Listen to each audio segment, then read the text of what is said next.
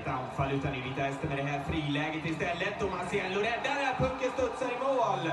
Ja, det är turligt för Elgestål som eh, missar eh, i första läget, men där eh, pucken till slut ändå studsar i mål och Vita Hästen kommer ut väldigt intensivt och får utdelning. Elgeståls första mål för säsongen och han blir ju eh, helt bortglömd. Och sen avslutar han, sen studsar pucken alltså eh, via kroppen, ser det ut som, in bakom Marciello.